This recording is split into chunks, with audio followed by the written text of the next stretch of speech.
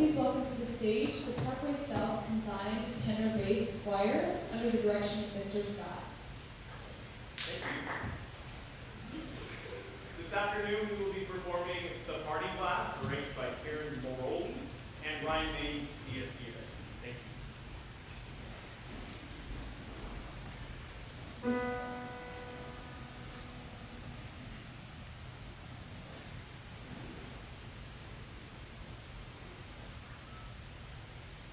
Mm-hmm.